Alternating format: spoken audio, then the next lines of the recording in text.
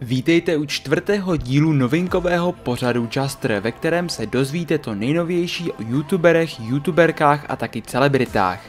Nebudeme to dál zdržovat a pojďme na to.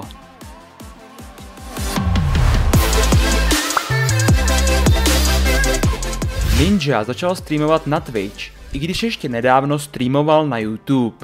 Vypadá to tedy, že neví na jaké platformě má zůstat. Vypadá to, že Twitch a YouTube se o něj perou s různými nabídkami zajímavých smluv. Jak tohle dopadne ještě vůbec nevíme, ale bude to zajímavé sledovat. Jake Paul byl zatčen za rabování v době nepokojů v Americe. To ale není vše, jelikož u něj byla doma nedávno FBI. Proslýchá se, že byl obviněn z nepovoleného držení zbraní. Bejvalka Fety Pilou a Sára Holanová se společně se svým partnerem Honzou ocitly ve finančních potížích. Vzali si totiž dva úvěry a nemohli splácet. Loni se jim navíc narodil syn Corvin, takže peníze rozhodně nemohou postrádat. Sára se tedy přihlásila do televizního pořadu TV Prima Cesty z dluhů.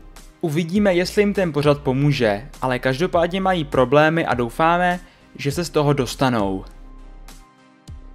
Ondra Vlček nedávno vydal video, ve kterém zmiňoval, že se svou 15-letou přítelkyní čeká dítě.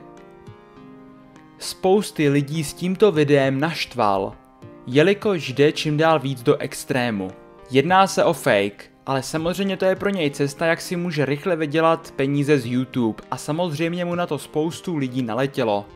A reakční kanály měly opět na co dělat reakce.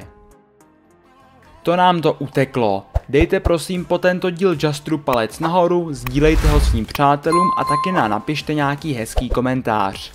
My se opět uvidíme přibližně za týden. Zatím se mějte a užívejte léta.